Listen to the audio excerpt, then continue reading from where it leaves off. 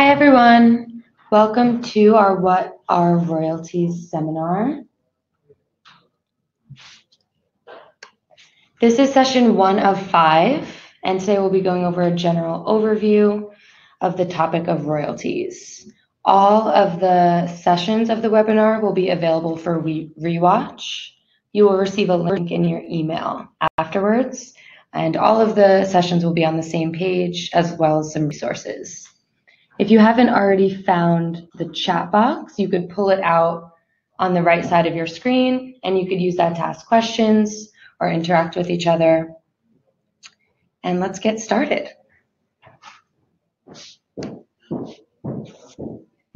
We are your hosts. I'm Noelle. And I'm Elizabeth. We are the publishing specialists here at Songtrust. Um, I actually started off at Songtrust as an intern in January for the publishing operations department. Um, I definitely learned more in that internship that I did in any class that I took about music publishing. Um, and now I've transitioned into my role on the growth team. And I focus on educating and signing up new clients, making sure that they understand all of the abilities that our platform has and how to use it. Hello, and I'm Elizabeth. I've been at Songtrust for about 19 months now. So I started the summer of 2017 in the operations department, um, helping the back end um, operate. And then I moved forward this year to the growth team, which is new. And I help consult anywhere from independent songwriters to managers to labels all over the world to understand where they are in regards to publishing and what their next steps are with publishing admin at Songtrust. Some important points that we hope you walk away really confident about when this is over um, are learning the difference between the composition and the recording. So in each song, there are two separate types of revenue, and knowing the difference between the two is really important. We will also break down the difference between mechanical royalties and performance royalties. Knowing where both of those royalties come from, um, how they're earned, and who collects them will be our next topic. And lastly, we will explore the timeline that the publishing industry works on and the reality of why it's such a slow moving game. All right, so let's get started. Um, music publishing, the reason why we're here, and in its purest form, it refers to the money you can make as a copyright holder of the music that you write. And that money that you earn for different uses of the music that you write that money is called royalties.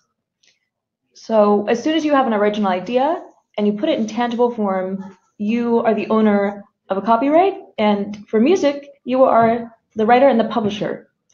And with that comes several different rights. And these rights have to do with sharing your music. And when you distribute your music out into the marketplace for performances, live performances, for sale, for download, streaming, royalties are generated. And there are a few types of royalties that are generated. And we'll go through those in detail um, on the next slide.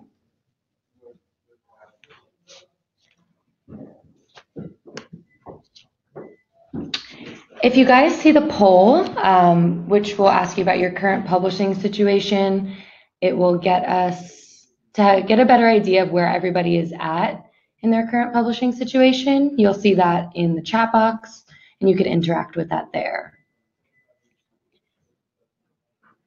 Here on this slide, we have a great diagram so you could visualize the two different types of revenue um, that are that exist in each song. So we have the composition and the master recording. On the composition side, um, publishers collect on these types of royalties and they're broken down into performance and mechanical royalties. Performance royalties are further broken down into the writer's share and the publisher's share, whereas mechanical royalties are only paid out to publishers. As you can see, as an individual songwriter, it's really difficult for you to collect on all of your composition royalties. And the two circles at the bottom that are filled in red are the areas where Songtrust helps individual songwriters access those royalties. For the master recording, those royalties are collected by distributors and labels, and is broken down into neighboring rights and master recording royalties. A good way to think about it um, for the two sides of each song are that if you are a songwriter and an artist, you are writing your music and recording it, you are owed both the composition and the recording royalties. If you're only a songwriter and you're writing music for other people to record, you would only be owed the composition, whereas the artist would be owed the recording royalties.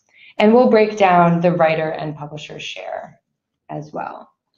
Are there um, different types of mechanical royalties?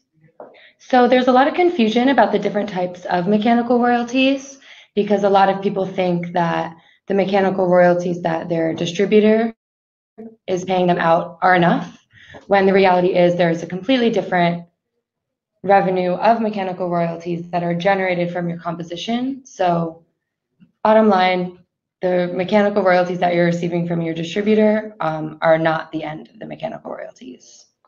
Got it. All right, so we're breaking up the different shares of publishing royalties. And if you're a writer and you affiliate with a society, a PRO, such as ASCAP or BMI, you are registered as the rights holder of your music, and therefore you're able to at least at least collect the writer's share. Um, similarly, if you are a writer and a publisher, or a publisher, you can affiliate an entity as you would a songwriter with the societies and collect your publisher share. Um, songwriters typically see their writer's share, but they may be missing their publisher's share. And it's true, you can earn both halves of your performance royalties, the writer's share and the publisher's share, um, without a publishing entity. And we'll go into that a bit further.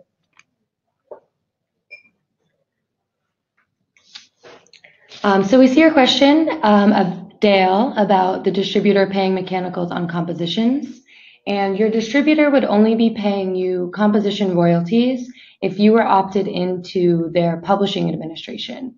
Um, only some distributors have publishing administration opt-in services. So unless you're working with a distributor who is offering you this service and you have accepted those terms, then you would not be collecting composition mechanicals from your distributor. Okay. So a quick poll, just another quick question for you all. We'd like to know how you would best describe your writing collaboration style. Do you usually write alone, almost always with someone else, or a little mix of both?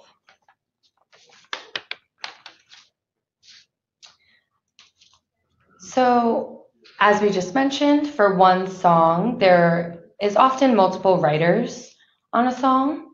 Um, but here we have a breakdown of some typical examples um, when there's just one writer, as you see on the left side. Um, this one writer owns 100% of the song, both the publisher share and the writer share. Um, we also have an example of four writers collaborating on a song together where they have evenly split the copyright and they would each own 25% of the song. Um, both sharing ownership of the publisher and writer share. Um, so a split sheet is the agreement between the co-writers that states who will receive what share of the future royalties. We really urge everyone who is collaborating on music to complete this sheet either while you're creating the song or after, um, but definitely before the song is released. A lot of times we have a lot of our clients coming to us not knowing what split they own and finding out later that their co-writer has registered the song at 100% ownership. So using these split sheets can really avoid a lot of uncomfortable conversations and lawsuits even in the future. And we have actually created a handy packet for anyone that needs a split sheet while writing their songs. And included in the packet is a sample of how to fill it out. You should see a pop-up near the chat box where you can download our split sheet packet for free. I will be using that. You should. All right, so now we're really getting into the detail of royalties and these three main types of royalties we see in the publishing world. We're beginning with performance royalties, which, as it sounds, come from the performance of your music, which traditionally could be anywhere from a theater to a bar to a cafe. And now we have recorded music. So you could be performing on a stage or your music could be playing in the speakers of a venue and you would still be owned performance royalties. Um, radio is a bit, can be a bit of a confusing topic, but the Pandora that we're talking about here in performance royalties, this performance royalties part, would be the Pandora um, paid user accounts. I know there are different types of subscriptions, and that is the model that um, pays out performance royalties. As we move over to mechanical royalties, when your songs are digitally streamed, physically reproduced, or downloaded, you are owed mechanical royalties for the composition. Um, and the most common way I think a lot of us consume music right now is streaming. So all of these digital uses, um, Spotify, Apple Music, these are all earning mechanical royalties for the composition. And lastly, we have micro sync royalties. And that sync part stands for synchronization.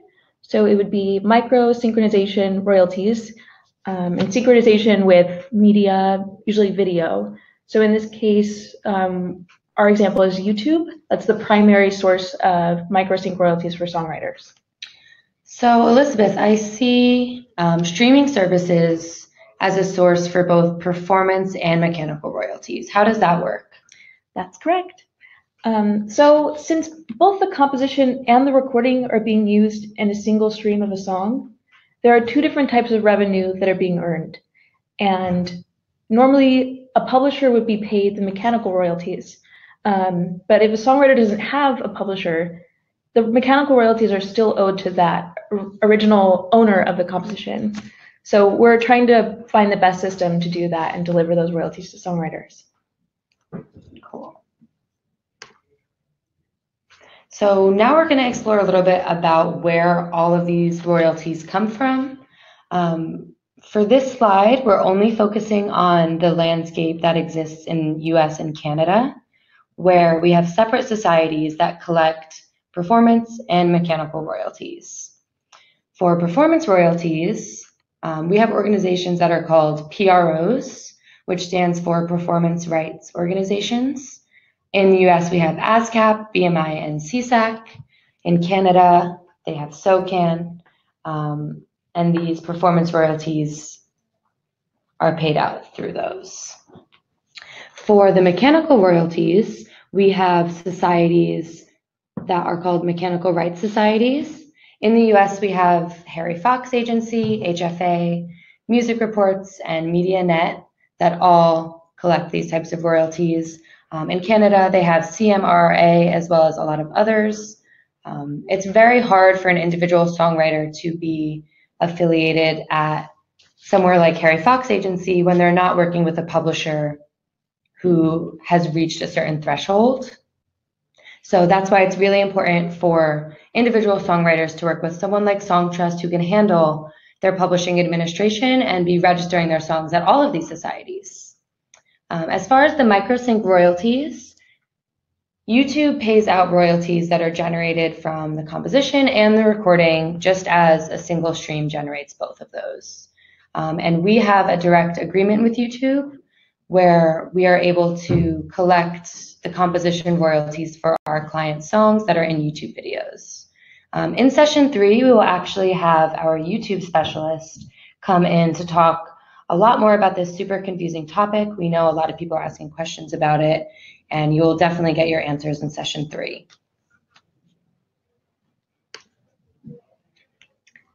Collective Management Organizations.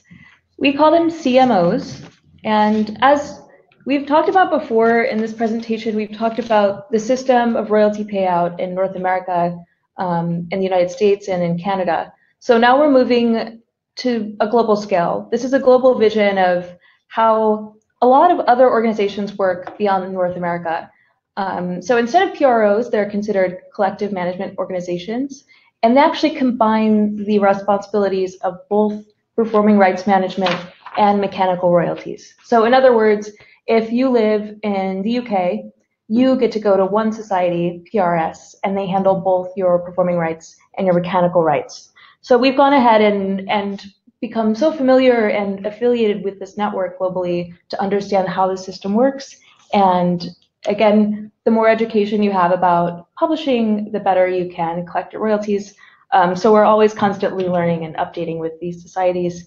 Um, but if you are located in any of these territories, you can see that having just a PRO is not enough, and having just one PRO is not enough. Um, the more places your music is registered, the better. It's really important to remember that wherever your music is streamed, wherever that physical stream happens, that respective society will be collecting the money for that stream. So that's really important um, to put into this equation.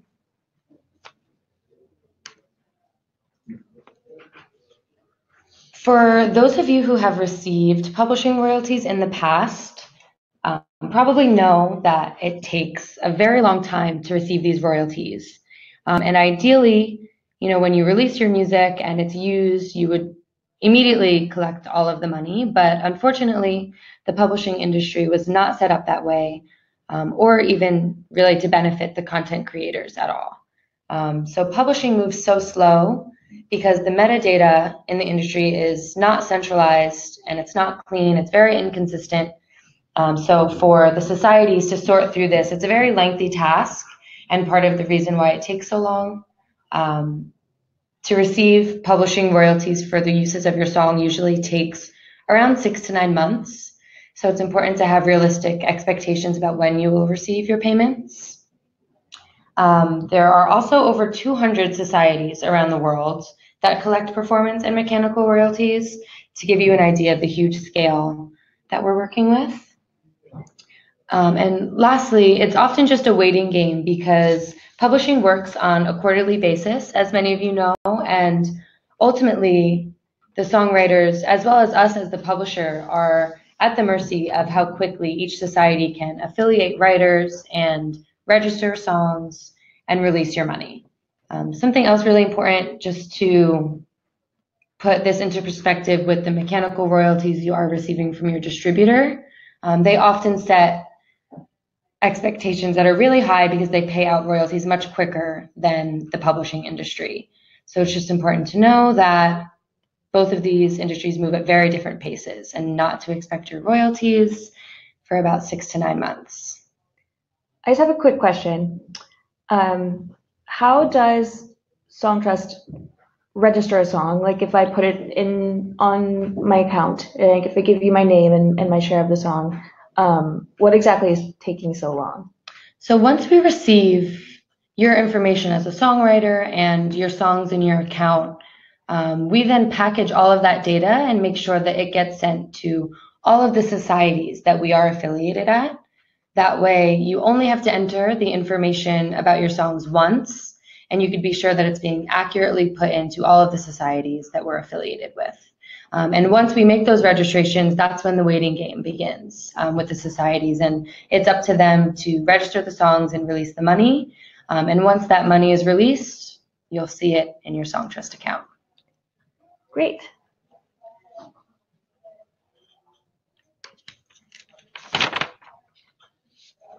Both, okay, so now moving into why Songtrust fits into this equation. Um, we are a global publishing administrator, so we focus solely on the registration of your works and the collection from those registrations. We represent 150,000 songwriters, 20,000 music publishers for over 1 million copyrights. Just a quick note, if you look over in the chat box, we're providing a quick offer. Um, if you sign up, and this is an expiring discount code um, that will expire at the end of this webinar, we really encourage you to go on songtrust.com and sign up, use its discount code, and you'll be able to have an account today. Moving on a little bit, just about um, Songtrust and how we work. We're a very flexible DIY solution to make sure that you as content owners are not leaving any money on the table.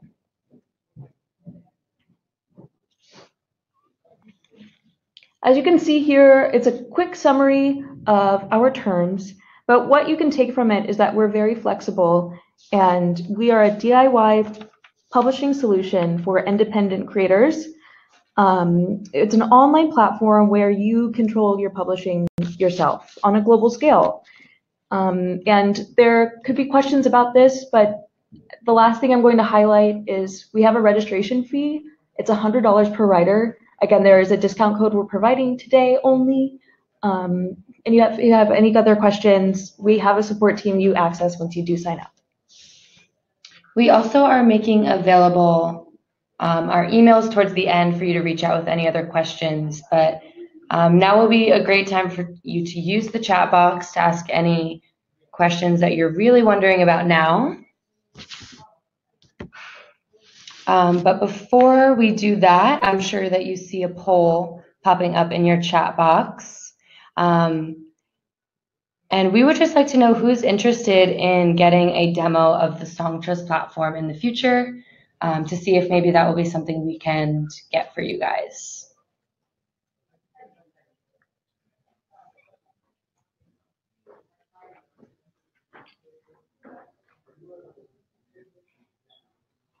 Great.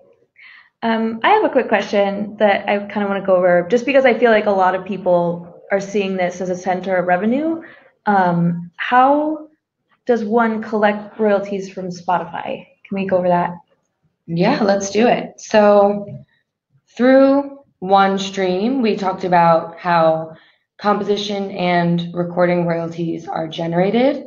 Um, you could receive those recording royalties from your distributor, um, which could be somebody like DistroKid or CD Baby.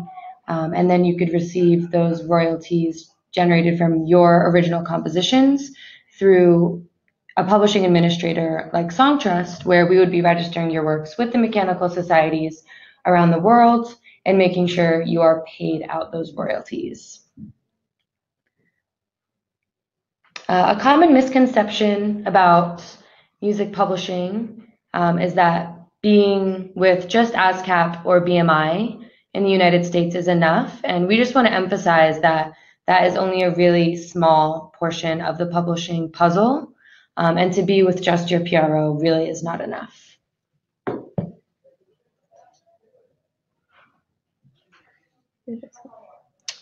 Um, okay, so question from the crowd. If I have a non-exclusive distribution deal and YouTube partnership, could I depend on them to collect publishing, or is that separate from distribution? Got it. So some, as Noelle mentioned earlier, some distribution platforms offer publishing admin in addition to distribution. It's important to keep in mind that these are two different specializations.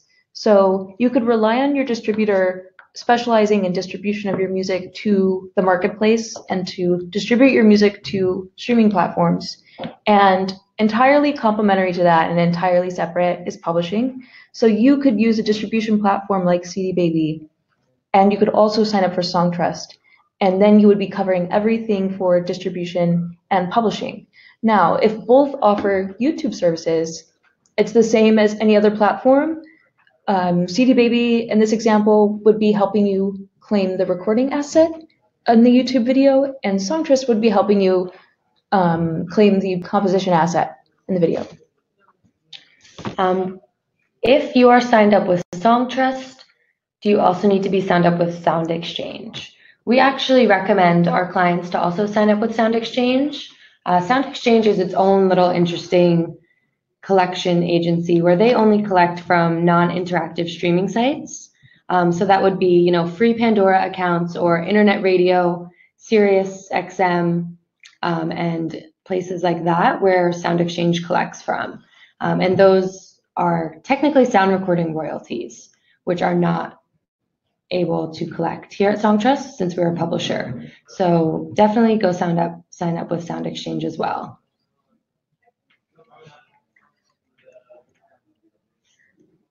Maybe this is good. If you are publishing for other writers, would all need a Songtrust account? So what's great about the Songtrust account is it, we make it is it very simple to use. And it scales to as many writers and as many songs as you would like. Um, so I could have my own account, or I could say, you know what, I'm going to handle publishing for myself and Noelle, and I'm going to help register both of our songs from our account. So then I would have two songwriters, and I would have songs by maybe just me solo, and then songs we share, as well as songs that Noelle would have solo. I would be able to manage our both of our catalogs from that single account. Um, it really depends on the relationship that you have with your co-writers. Um, but if you are, if you have a publishing company with multiple songwriters signed up, um, that's a great way to manage your catalog and track each writer's individual royalty earnings as well. What if I'm registering songs with you or BMI, but don't release them on Spotify, Spotify, but load them up to YouTube by myself? Do you collect royalties from YouTube? So I think there's a like the first part of that question. Um, I I just want to ask: Would I register songs with Songtrust or BMI, and how does that work? So in adding your songs to your Songtrust account, there is no reason to have to go to your BMI account and register those songs as well. Um, Songtrust is a way for you to add your songs to one account and have them registered at all the societies we're affiliated with, which includes BMI. Um, so if you're not releasing them on Spotify, um, but you've added them to your YouTube channel, we are able to collect your royalties from YouTube. Um, that video is still using your composition, and as long as it meets YouTube's requirements, which I'm sure we will go over in session three, um, then we will be able to monetize that video and collect your royalties. All right, I think we have time for one more question.